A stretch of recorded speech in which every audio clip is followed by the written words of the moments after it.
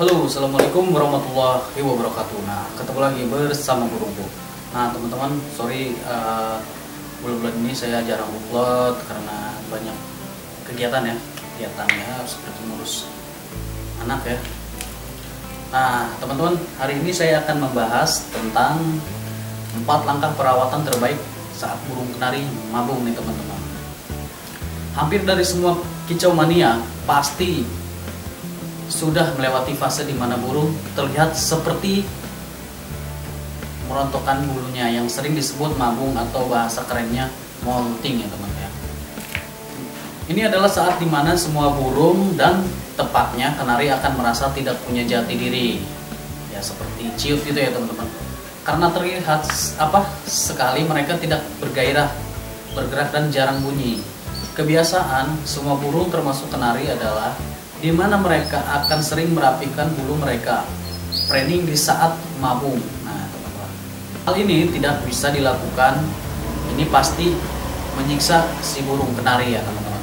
Kesalahan besar menurut saya ketika kenari mabung tetapi masih aja dikemas untuk tetap aktif beraktivitas dipaksa berbunyi malah terkadang diberikan doping atau suplemen. Bunyi untuk lomba ini yang malah akan apa, menurunkan kondisi mereka ini ya teman-teman. Ya pendapat berada masing-masing berdasarkan pengalaman ya pasti berbeda-beda ya teman-teman.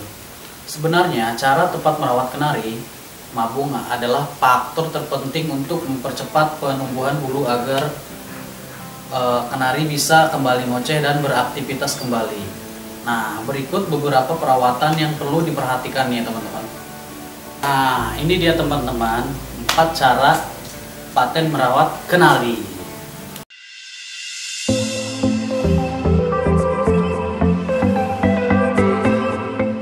Nah, nomor satu, angin-angin kan kenari di tempat yang tidak langsung menerima cahaya apa cahaya matahari nih teman-teman. Sorry. Mengapa? Karena e, saat mabung kenari tidak membutuhkan asupan cahaya matahari untuk tubuhnya ya teman-teman. Dua, jangan mandikan kenari saat mabung, saat kenari merontokkan bulunya. Dan kita mandikan mereka ini malah menghambat proses perontokan nih teman-teman. Jadi mulai apa? Mulai mandikan kenari saat mereka memulai proses penumbuhan bulu baru, bukan pada saat mereka merontokkan bulu barunya ya teman ya. Apa? Merontokkan bulu barunya. Next, lanjut ke nomor tiga Nomor tiga, berikan asupan pakan mengandung protein. Nah, apa proteinnya? Protein keratin. Mungkin teman-teman sudah tahu eh, kadar protein jangan melebihi 30%. Karena pada saat kadar protein terlalu tinggi, ini akan membuat kenari malah sering bunyi dan mirahi.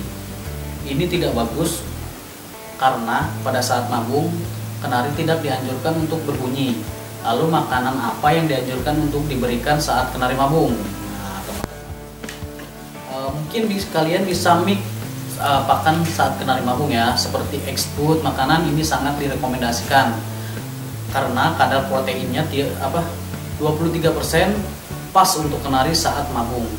Food digunakan sebagai energi bos apa energi bos dan sumber dari biotin nih teman-teman. Flex food pakar ini seperti biji bunga matahari, hanya flex lebih mungil biasanya memiliki warna coklat dan kuning.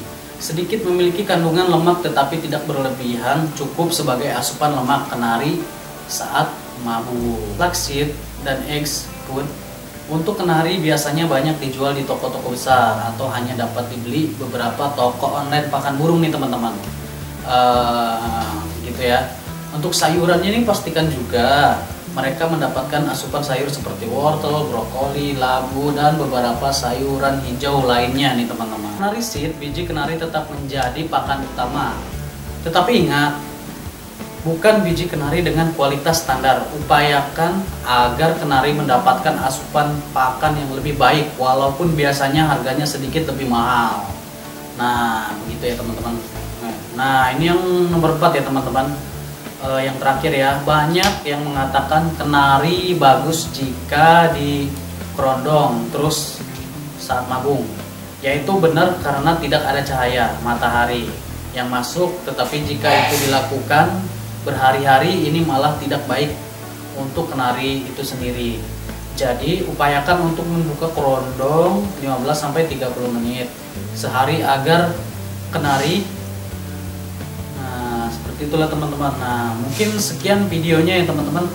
Mungkin hmm, ada yang kurang paham nanti bisa ditanyakan lagi di komentar. Hmm, uh, apa namanya? Mungkin teman-teman kurang paham di video ini bisa apa tulis di komentar biar akan saya buatkan lagi video-videonya. Nah itulah tips eh, empat langkah perawatan terbaik kenari di saat nabung ya teman-teman semoga video ini mendapatkan jempol sama komen yang bagus-bagus ya teman-teman. Uh, jangan lupa juga di share di subscribe ya teman-teman. Nah sebelumnya terima kasih sudah menonton videonya. Uh, Salam satu hobi Salam kicomania kenari. Saya juga masih pemula Masih belajar ya untuk mendalami kenari oke? okay? Terima kasih. Salam burungku